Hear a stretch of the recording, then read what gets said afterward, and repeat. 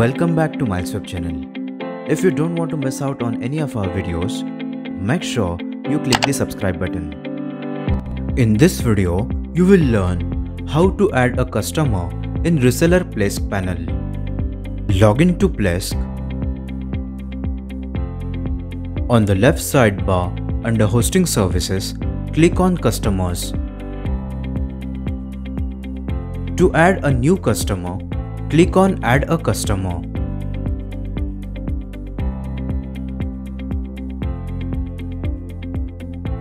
In the Contact Information section, fill the required information that has asterisk mark.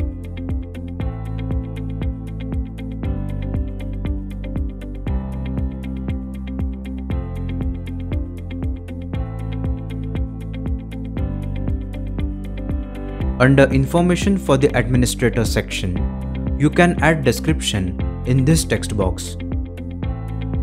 Customers cannot see this description.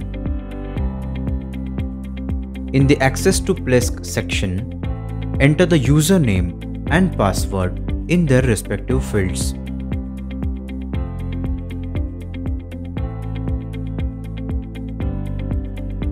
Re-enter the same password in the repeat password field. Make sure the password you enter must be alphanumeric. If you want to use auto-generated password, then click on generate. Here, we have manually entered the password. The customer will use these login credentials to access their customer panel. If you want to send activation link to the customer via email, then select this checkbox. In the subscription section, by default, this checkbox is selected. If you unselect this option, then customer will not be able to log in to customer panel.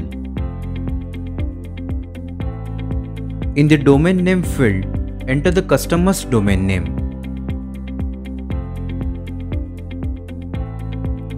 The default IP address will be shown in this section. Enter the same username and password that you have mentioned in the Access to Plesk section. Re-enter the same password in the Confirm Password field.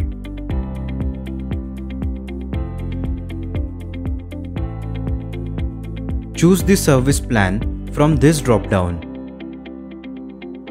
Here, we have already created this service plan, so we are selecting the same. Selecting this checkbox will lock the subscription for syncing.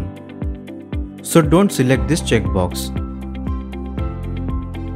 If you want to add any description, then you can add it in this text box.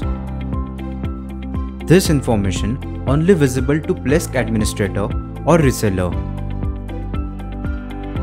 Secure your domain with Let's Encrypt SSL by selecting this checkbox. Make sure your domain is pointing to a server. You can install Let's Encrypt SSL once you add the customer to Plesk. Click on OK. That's how you can add a customer in Reseller Plesk panel. Thank you for watching this tutorial. Give a thumbs up if you found it useful. Reach out to us on this email ID for any of your technical queries.